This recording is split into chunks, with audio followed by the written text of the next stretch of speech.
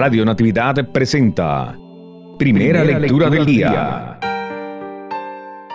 Del libro del Génesis, capítulo 2, versos 18 al 25.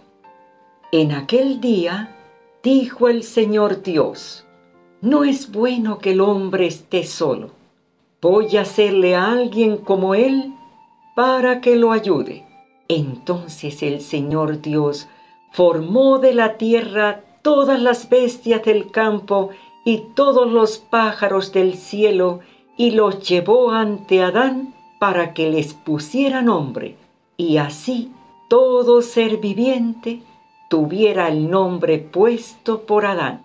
Así pues, Adán les puso nombre a todos los animales domésticos, a los pájaros del cielo y a las bestias del campo.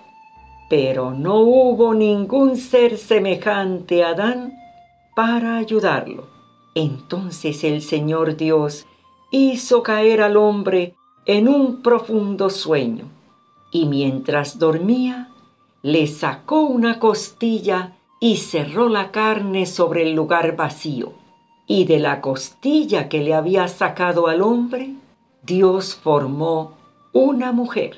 Se la llevó al hombre y éste exclamó, Esta sí es hueso de mis huesos y carne de mi carne.